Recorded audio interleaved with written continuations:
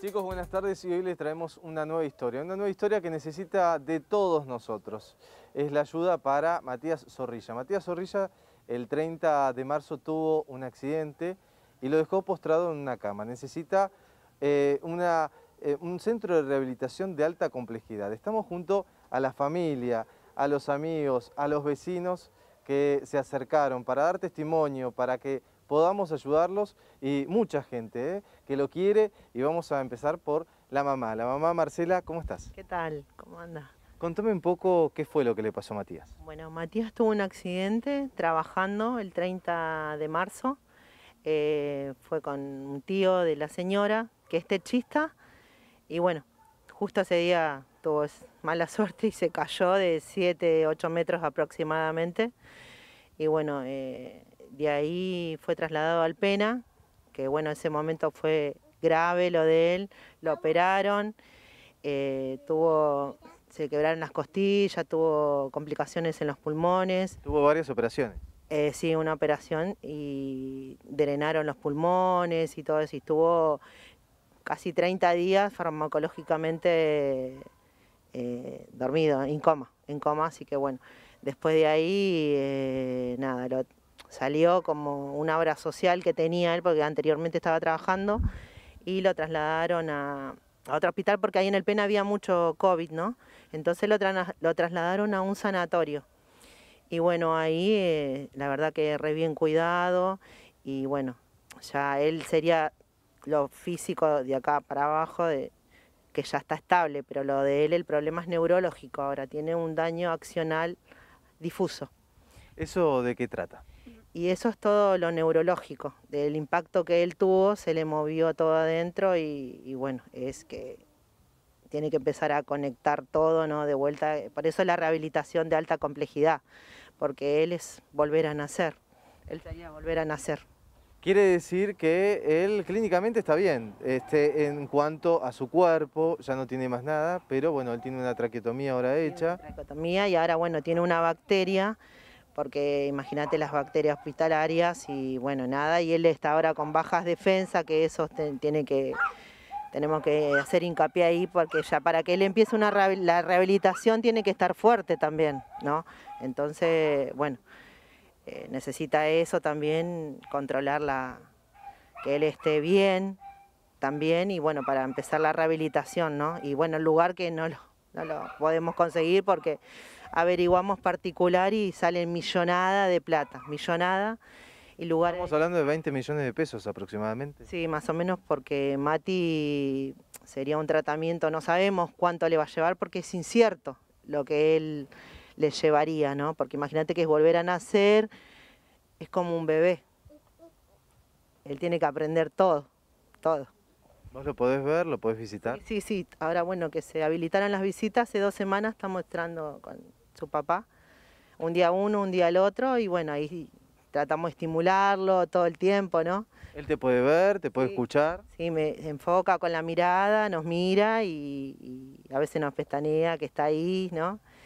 Y bueno, y lo estimulamos como un bebé, como un bebé de a poquito y bueno, nada, ahora... Eh, esperando ese lugar que, para que él ya empiece a activar, ¿no? Activarse eh, neurológicamente, ¿no? Bien, ¿él tiene una obra social o tenía una obra social? ¿Cómo es el tema? Tenía una obra social porque él trabajó en, el año pasado hasta diciembre eh, en una agencia por Andriani, ¿viste? Estuvo seis meses. Y bueno, de ahí dejó de trabajar en diciembre y cuando él le pasó el accidente, le estaba cubriendo la obra social que le cubrió, le cubrió tres meses, ¿viste?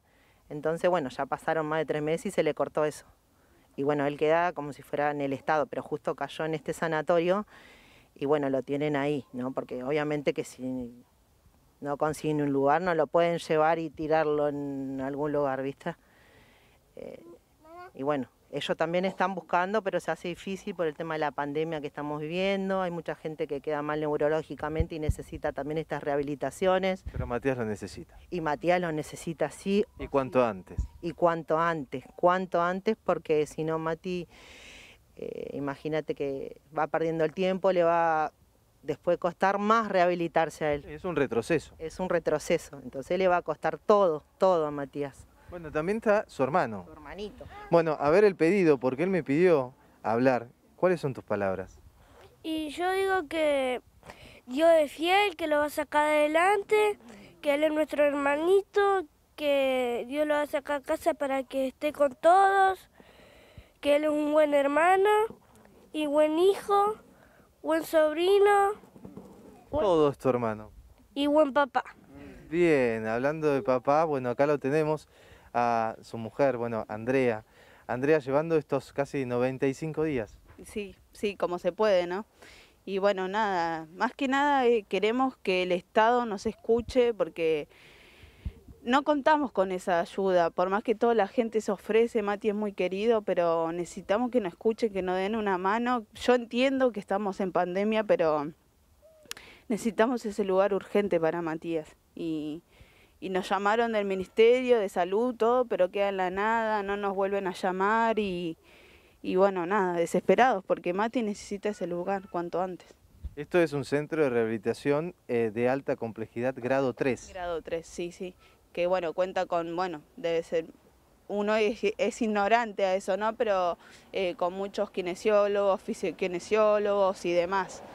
Eh, para que Mati vaya activando, porque si no pierde, está perdiendo tiempo. Cuanto más tiempo pierde, peor va a ser porque le va a costar el doble a él. ¿Qué dicen los médicos y la gente que lo está atendiendo en- ahí en este momento? Bueno, ellos dicen que, bueno, que, que está, estable lo pueden tener ellos, más que eso, más no pueden hacer más nada. Ellos- él ya necesita ese lugar porque ellos antes tenían ese lugar ahí, pero ya no, no tienen más.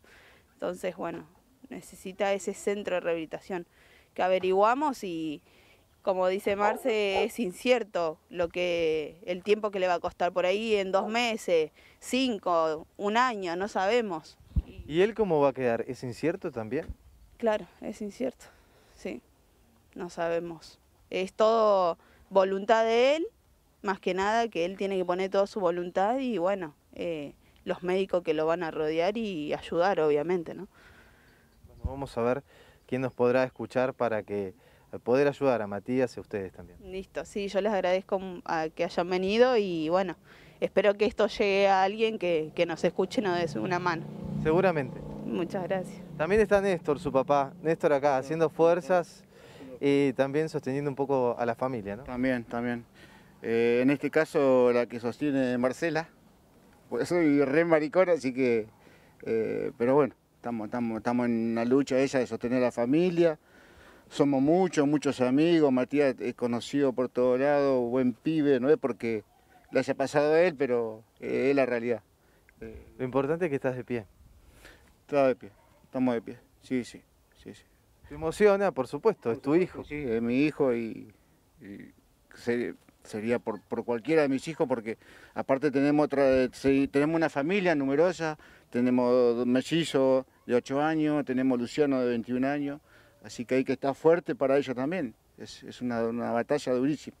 Matías, 25 años. Matías 25 años. 25 años. ¿Cómo es Matías?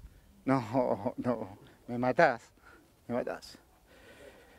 Eh, Es un león, es un león, Matías es un león. Eh, un tanque, como le dicen los amigos, el tanque, eh, en la cancha, el, el, eh, futbolista, exfutbolista, eh, no, no pudo lograr su sueño, eh, lo tuvo ahí nomás. Ju- jugó en selecciones juveniles, sub-15, sub-17. Eh, estuvo en esta reserva de Argentino Junior y bueno, la, vida no, no quiso que, que- que llegara, pero, pero sigue siendo un, un gran futbolista, sus amigos lo dirán, eh, el tanque, como le dicen ellos, ¿no? porque es, es un, un- un central hecho, después hecho un, un gran jugador, ¿Lo vas a visitar? todos los días, todos los días, todos los días. Bueno, fuerza. Sí, sí, tenemos, tenemos toda la fuerza, eh, estamos fuertes, tenemos fe, tenemos una fe bárbara, así que con fuerza, con fe y, y esperanza. Y esperanza. Muchas gracias. Esto es lo que pasa, ¿no? La emoción de, todos, ¿no? De la familia, también de uno de los amigos. Vení, este, que quiero hablar con vos para contarnos, vení, ponete más para acá, para contarnos este, quién era Tanque. Sí, Matías, si yo me crié con él, soy el vecino y, nada, quiero pedir a toda la gente que, pueda ver esto, que pueda aportar su, granito de arena para que pueda volver a estar Matías con su familia y con, toda la gente acá que lo queremos y, y nada, que a toda la gente que lo esté viendo que por favor puedan ayudar a todo y, nada, fuerza a toda la familia y, que Matías va a estar pronto acá con nosotros. gracias por tus palabras. Y es la palabra de todos los vecinos eh, acá, bueno, su mujer por supuesto, eh, también que, se emocionó y esas lágrimas para que la gente vea ¿no? lo, importante que, es Matías en tu vida. nosotros, no tan solo para mí, para todos. Eh, es muy especial como papá, como hijo, como amigos, que la verdad que mucha gente se acerca y me asombra y cada día estoy más orgullosa de él, de la persona que es. Porque bueno, ya... Tienen un, tienen un hijito chiquito, ¿no? Sí, tenemos un hijo de un año y medio. Bueno, ya orgullosa estoy de lo que es acá en casa, pero la verdad que lo que es afuera de casa me, me sorprende. La verdad que me sorprende y me enorgullece un montón de él. Así que bueno. Pronto va a salir o lo están esperando. Sí, tengo mucha fe que él sí va a salir, que va a volver, porque encima Matías es un, es un león, es un guerrero y no se va a querer quedar ahí. Yo lo conozco y sé que va a poner toda su voluntad, pero bueno, necesita esa ayuda para, para poder salir. Y quienes quieran ayudar también, este, ¿dónde pueden colaborar? Porque ustedes están haciendo rifas, están haciendo, tienen este, eh, una cuenta de Instagram. Sí, tenemos una cuenta de Instagram que es Todos por Mati, un Facebook también que es Todos por Mati. Eh, tenemos, abrimos una cuenta a nombre de la mamá, Marcela Herrera. Eh, bueno, y después de parte de nosotros también estamos haciendo bingo, la familia está haciendo parrilla los fines de semana, eh, los amigos, campeonato por todos lados, que ya no me alcanza ahí todos los fines por todos lados a estar un ratito con ellos. Eh, así que sí, estamos haciendo un poquito de todo. Bien, poniendo entre todos un granito de arena para que puedan salir adelante. ¿Un CBU también tienen? Sí, tenemos un CBU que en este momento no me lo recuerdo, pero es del que está... Lo vamos a pasar ahora en pantalla para que la gente pueda este, colaborar. Buenísimo, sí, sí. Gracias, muchas gracias. Muchas gracias a ustedes. Bien. Eh, sí, eh, y por último, sí, Marcela, quien es su mamá. Ven y Marcela, mm, sí, a ver, eh, bueno, yo, em, el día que le pasó el accidente a Matías, él donde estaba trabajando era en una empresa muy grande, ¿no? Y esa empresa nunca se hizo cargo. La dueña tiene un corazón durísimo. Y bueno, sabiendo que Mati lo que le pasó, ella jamás hizo llamar y preguntar por Matías es como que es algo impune también. sí, aunque sea un poco de... De eh, consideración, de ser humana, ¿no? Porque así como le pasó esto a Matías, le pasa a mucha gente. Y queda todo impune esto de, que a veces las personas así que tienen, ¿no? Y no, no, no se hacen cargo de, las personas que le trabajan y nada, y eso también nos dolió un montón porque nunca fue se llama Magali Rama, es dueña de Hyundai.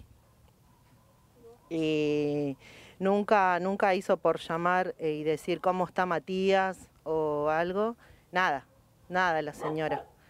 Eh, considerada un corazón de piedra. Y bueno, nada, eso también quería decir porque... Estaría bueno que se acerque, aunque sea... no por plata, pero aunque sea exactamente... Acá no, no, nosotros no nos importa la plata, nos importa la salud de Mati. Eh, nunca nos importó la plata, porque somos gente trabajadora, como Matías también, que fue ese día a hacer una changuita y bueno, le pasó esto. Pero un mensajito preguntando cómo está, algo, pero nada, no, nada de nada. Y bueno, entonces por eso nosotros también salimos a pedir ayuda, ¿no? A que nos ayude el Estado, o la, más que nada, bueno, la gente también, porque la gente, es como Mati, es muy querido y la gente es muy solidaria, muy solidaria y, y está gente que no nos conoce, nos llama y nos dice que necesitan, que esto, que el otro, y esta señora que, pasó el accidente, nunca, jamás, ni un mensajito, nada, nada de nada. Así que bueno, eso también nos indigna un poquito porque hay que ser humano, hay que ser humano en la vida porque Dios ve todo, Dios ve todo.